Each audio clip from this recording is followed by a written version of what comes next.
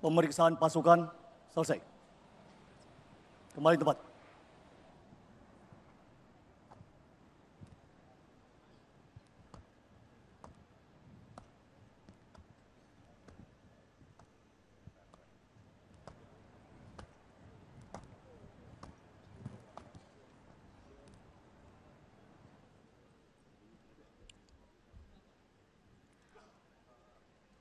Undangan dimohon berdiri.